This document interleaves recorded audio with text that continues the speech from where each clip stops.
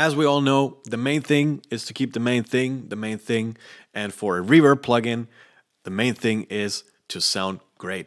And this is a very great sounding reverb plugin. The studio ambience sounded really, really nice. I got goosebumps.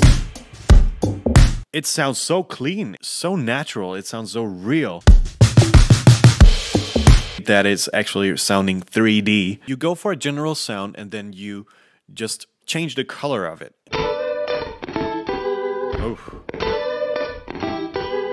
Wow, I like the space of the drums a lot. Wow. Much, love me much, yeah. From the very get go, I'm actually getting where I want it to be. It sounds so good.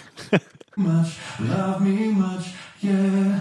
The depth knot is really crazy. It touches me emotionally, Sin. I hardly ever got goosebumps from a reverb plugin, but EXOVERB did it.